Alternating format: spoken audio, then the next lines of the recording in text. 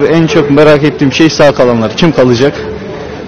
Çukuru kim devam ettirecek? Onu aşırı merak ediyorum. Acaba yamaca e, amcasını ne şekil öldürecek onu merak ediyorum.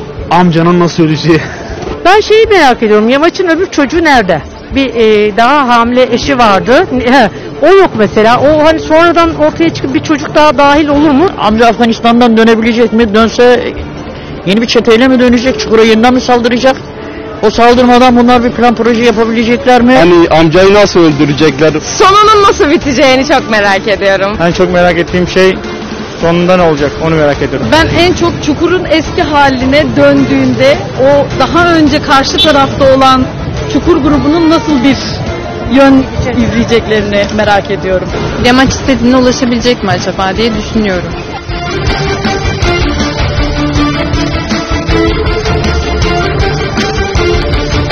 Bence Yamaç Şahran'dan beklemediği bir hamle alacak.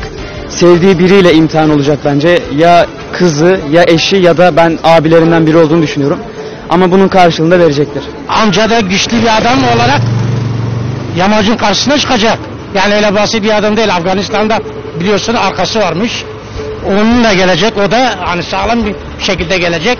Artık öyle e, çok çekişmeli gidecek. Yamaç'ın akıl hastanesinde falan böyle uyanacağını düşünüyorum.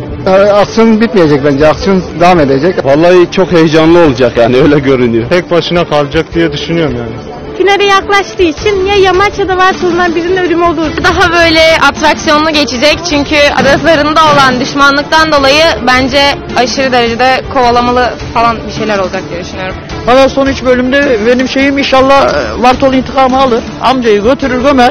E, zaten giden gitti. Yamaçta hedefine ulaşır. En azından babasının çukuruna sahip çıkar. Ama güzel şeyler olacak. Bence heyecan devam edecek. Amcayı bitirecekler.